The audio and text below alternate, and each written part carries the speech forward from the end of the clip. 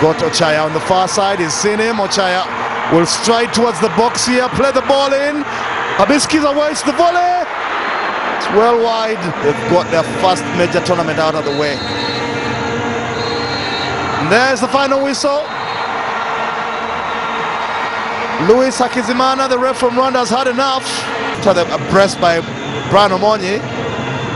Scoring Konji there. And this is how it all went. The first goal, Brian Umony on the volley. Bobby was excited then.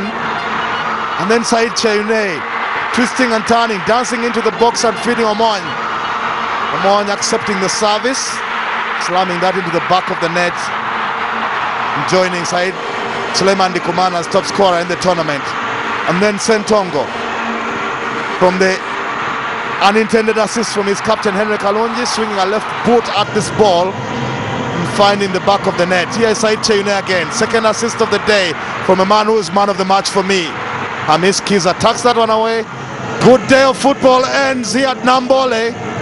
And it's South Sudan nil, Uganda 4.